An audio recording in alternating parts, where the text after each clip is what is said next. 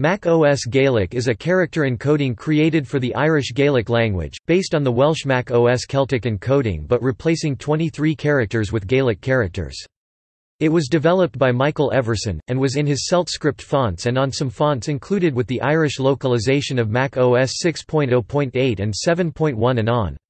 Like ISO 8859-14, this code page represents the Irish Gaelic and Welsh languages.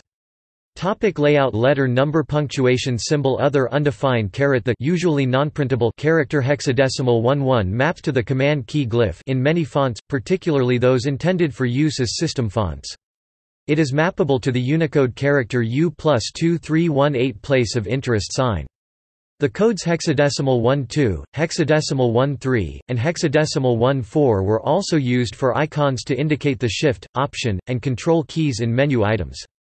Caret asterisk the codes hexadecimal A2, hexadecimal A3, hexadecimal A9, and hexadecimal B1 coincidentally have the same character assignment as ISO 8859-1 and thus Unicode. Caret before Mac OS 8.5, hexadecimal 26 mapped to both an ampersand and Tironian et, Unicode character U plus 20A4, which were unified. Caret before Mac OS 8.5, the character hexadecimal dB mapped to currency sign, Unicode character U plus 00A4. Caret per mil before Mac OS 8.5, the character hexadecimal E4 mapped to per mil, Unicode character U plus 2030.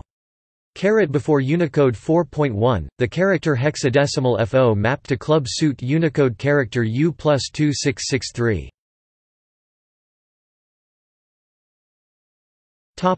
References